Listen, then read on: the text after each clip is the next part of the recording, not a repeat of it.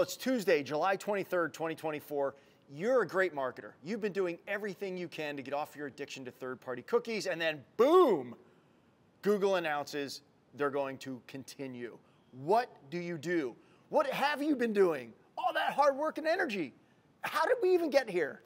Why That's exactly we? what we're going to talk about. Why are we here, Tim? Why are we here? We're here because cookies, man. I mean, this is a this is a roundabout. But look, let's be quick. We know marketers are frustrated. Uh, it's been a seesaw, a flip flopping event with Google here. Rich, where do we even start to begin? Well, I mean, let's let's take it from the top. This is really a reflection of, I think, the failure of Google's attempts with its uh, privacy sandbox. Right? I mean, that's that's what that's what this all is all about. I think, and you know, the the tests of the privacy sandbox in Q2 2024, they went horribly wrong, both in terms of effectiveness, ease of use, increased latency, and overall ROI. And there are concerns that the sandbox tools basically preference Google and aren't great for privacy. So I think the announcement that we've just seen is a reflection of that. Well, and that's pressure from regulatory boards, right? So I, I'm going to read here the UK's Competition and Markets Authority, the CMA, they're the ones who really were putting the pressure on, and the Information Commissioner's Office, the ICO. Um, they did not like what they saw when it came to Privacy Sandbox. So to your point, Google tried to figure this out, didn't, so now a stay of execution. I mean, we don't know, but I suspect that the CMA has told uh, Google that they're far away from taking the, the sandbox, uh, making the sandbox an effective replacement for third-party cookies. And they're in fact, wasting uh, everyone's time in the industry, which is placing undue burden on Google's competitors and causing uncertainty, which is harming competition. That's what I suspect. And I, I, I also think that probably upon hearing that message from the CMA, the Google is scrambling a bit, right? Um, this announcement took the industry uh, you know, off guard. So, as I think it's a bridge plan, Google's going to uh, try to mirror some flavor of what Apple did uh, in its mobile uh, iOS with ATT. Totally agree. It's the first thing I posted on LinkedIn when I read this news. Um, and for everyone who doesn't understand, ATT, you know, ask, ask app not to track.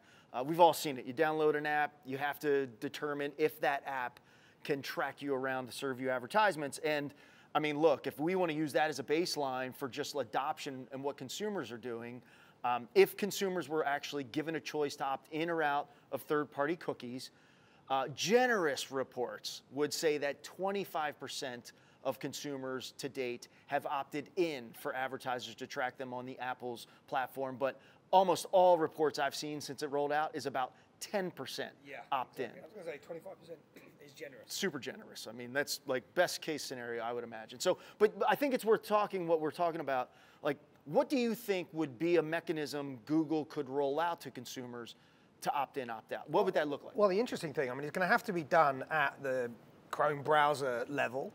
Um, and there are many ways that they could actually do it. Perhaps they're hoping for a, you know, click and forget kind of, uh, you know, not real consumer choice uh, action. But I think the problem is that because Apple has taken such a clear, um, unobfuscated, uh, you know, example, a template with what they were doing with um, ATT, that that's the bar. That's the bar that the regulators, um, you know, the privacy lobby are going to be looking at. If you're going to give consumer choice, you've got to make that choice extremely Crystal clear. crystal clear. And I think once you do that, that's where you get 25%, 10% of consumers going, yeah, that's fine. You know, that's the problem. I totally agree. And, and look, this is going to happen, have to happen at a website level because you're opting in to, to different things for the given website. If I go to acme.com or brandx.com, you know, do I give do I give brand one my data, but brand two not my data? And I agree with you. If it is crystal clear, unlike the banner ad blindness we're used to, um, consumers are going to opt out. Why would I give you my personal information, my intimate details for no value exchange? When you make it that clear, like uh, ATT did, consumers are going to lean to the opt out button. Yeah, and I think so. If you if you kind of think about what does the news really deliver, uh, you know, in terms of kind of marketer strategy, what's the big impact? And you know, at first I was like, whoa, hold on a minute, this is just like this is huge. And then I looked at actually the what Google had actually come out with, what they'd said, and I thought about the implications. I actually think it may end up being a little bit of a nothing burger because what, what are we really going to change in terms of our strategy as marketers? And I think if you kind of look at it in terms of, all right, the Chrome's um, traffic, its browser traffic, is, is roughly about 65% of the internet uh, traffic. We already know that Safari and Firefox and others have already deprecated third-party uh, cookies you've got that 65% of Chrome that are now going to have to give this very clear, uh, unobfuscated choice to consumers. And we know from what we saw with uh, Apple's ATT uh, notification that a, a, large chunk of consumers are going to, to, to, uh, to opt out of third-party cookies. Now, the question, the question is, is like how many? And it may well be that it's going to be a period of time. It could be, you know, a year, two years of a back and forth between the privacy lobby, legislators, in terms of like exactly how far Google go with you know the, that choice. Um, but either way, they're going to have to test it, and so immediately, I actually think it's going to bring forward the kind of deprecation of third-party cookies in terms of overall traffic, because now it's not resting on Privacy Sandbox being this be-all and end-all solution. They can actually get a prompt out to consumers on, you know, consumer choice. That doesn't, that's not going to take Google a long time, and they're going to start testing with that, I imagine, relatively quickly now they've made the estimate. So you're going to see some of that 65% of the traffic starting to go down, probably more and more over time. So you're going to be left with probably an accelerating portion of your traffic which don't accept third-party cookies, even earlier than if we'd waited for the privacy sandbox to, to kill everything. And you've still got the, this reality that first-party data is uh, a better form of driving results for you as a business. I would totally agree. Look, uh, and advertisers are still going to be in the same pickle, right? Um, as people opt out of this, they're still going to need ways to connect with consumers. So I completely agree. This changes nothing for me. If I put my brand marketing hat back on, right, the 20 years I spent in the B2C world, nothing changes. First party data is always my strive. That's the, that's the bulk of my diet as a marketer. I want to be heavy and rich on first party data, some zero party data in there for the preferences, things I can't deduce, infer. But third party data is like a nice to have on the outside. So I don't think it changes. And, and look, by the way, we have, a, we have a great article on this. I think it's a great article. It's got some stats and facts in there. You know, 85% of consumers, they want brands that treat them like an individual, and 82% favor brands that strive to develop a relationship. You, you can't develop a relationship when you have a third party, literally by definition, by name. There is a third party in between you and your consumer. Why would you let that happen? When you can have that direct relationship, have a first party relationship with consumers, it, it's better loyalty, it's better customer lifetime value. So nothing changes. But I agree with you.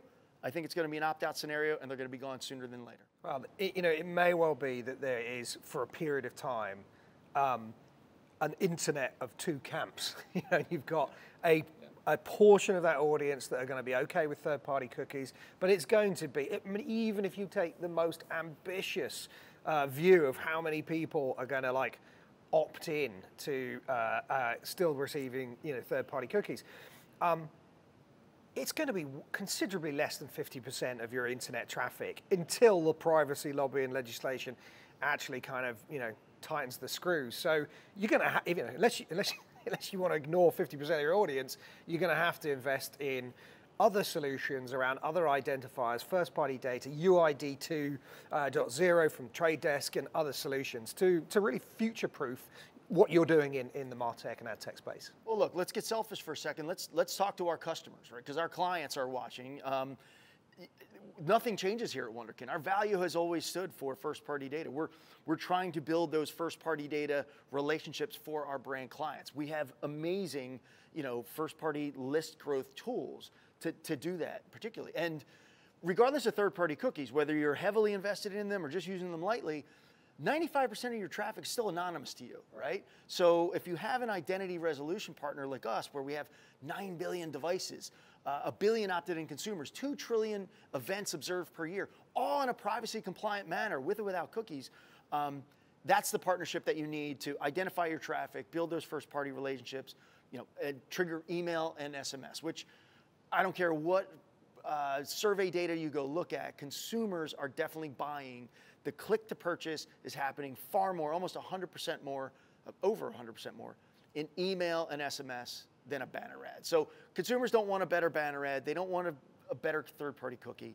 They want personalization, but they want it in a privacy compliant way. And I think that's what we're all about as a, as a company. So this doesn't change anything at Wunderkind. It's stay the course. Uh, first party data should always be your, your go to. Yeah, and let's uh, we will watch and update you as the uh, the privacy sandbox circus uh, powers on uh, over the next you know number of months, perhaps even years. Yeah. Well, it's it's an ongoing saga, but it is what it is. But anyway, that's our point of view on this. Please hit us on LinkedIn, Richard Jones, Tim Glomb. Uh, we'd love to hear your thoughts. Follow us because we're going to be commenting on this. We're going to be sharing some of our, our favorite. Uh, that's the one thing we should do. We, we wanted to get this out quickly, so we're not putting in a bunch of uh, our favorite posts that we've seen to date.